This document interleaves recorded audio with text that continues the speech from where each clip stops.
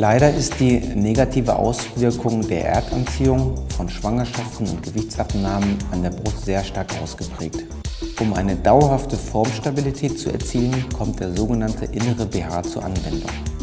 Sei es die Brustverkleinerung oder Straffung, hierbei wird aus der überschüssigen Lederhaut ein innerer BH als stabiles Gewebe benutzt, um der neu geformten Brust dauerhafte Formstabilität zu verleihen.